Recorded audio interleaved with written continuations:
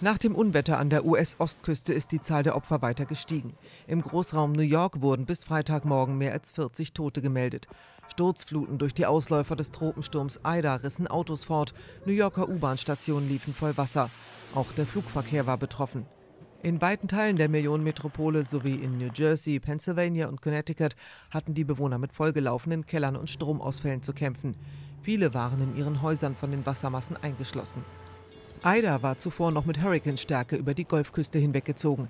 In Louisiana wurden ganze Orte zerstört. Die Schäden gehen in die Milliarden.